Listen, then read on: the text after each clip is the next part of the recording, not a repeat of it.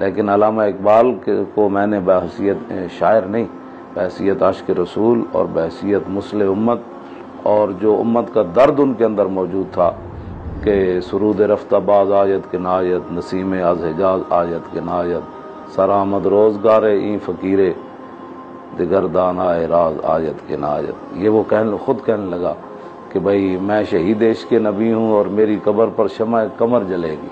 फरिश्ते खुद उठा कर लाएँगे चराग खुर्शीद से जलाकर। हाँ, तो ये उसको ये जो मैं इस वजह से उससे मुतासर हूँ शायरी तो बड़े बड़े इससे भी बड़ी बड़ी किताबें शुरा की मौजूद है उनका मुझे नाम भी नहीं आता और उनका शेर भी मुझे एक याद नहीं है। ये सिर्फ़ जो इसने बात उम्मत के अंदर की ना कि, की मोहम्मद से वफात हुई तो ये मैंने फिर कहा कि फिर जब इसके ये मैंने अलामा के शेर पढ़े और फिर पिछली तारीख पर नज़र दौड़ाई और फिर इसने कहा कि जान के मिलत रहा हयात अजिश के उस कि अगर उम्मत चाहती है कि ऊपर फिर जाए तो वो इश्क रसूल से है। फिर मैंने कहा, ये बात इसने कहाँ से की?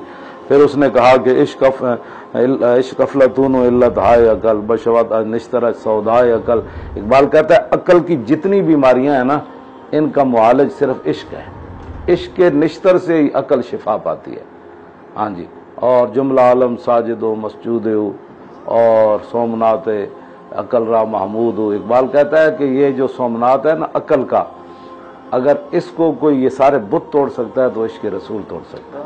हाँ तो ये बुत साहब तो इस तरह की मैंने इससे अलामा इकबाल से मैं मुतासर हजूर की गुलामी की वजह से हूँ।